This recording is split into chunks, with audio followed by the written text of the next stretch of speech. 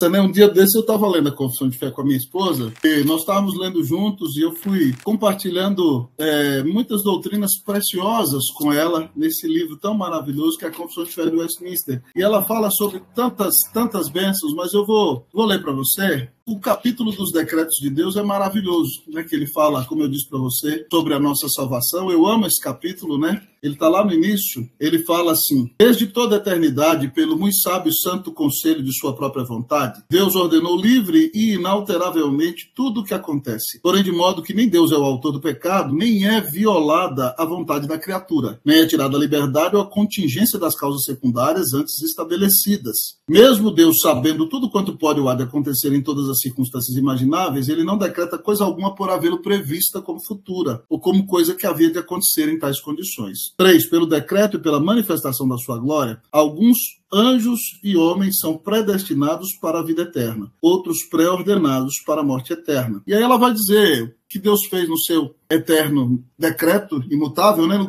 capítulo 6 ela diz assim, parágrafo 6. Como Deus destinou os eleitos para a glória, assim também pelo muito livre eterno propósito sua preordenou também os meios conducentes para esse fim. Então ele diz, Deus nos predestinou e predestinou tudo aquilo que vai nos trazer a salvação, né? E ele vai falar aqui, os que portanto são eleitos, achando-se caídos em Adão, são remidos por Cristo, são efica eficazmente chamados para a fé em Cristo, pelo seu Espírito que opera no tempo devido. Eu acho que esse parágrafo resume quase toda a confissão. E por isso eles são justificados, um capítulo da confissão, adotados, outro capítulo, santificados e guardados pelo seu poder por meio da fé salvadora. Além dos eleitos, não há nenhum outro que seja remido por Cristo, eficazmente chamado, justificado, adotado, santificado e salvo. Eu gosto desse capítulo, porque eu sei que o meu Deus é soberano e a salvação que ele me deu, eu nunca vou poder perdê-la ela jamais vai mudar. Eu sou de Jesus e ninguém me arrebata da mão dele.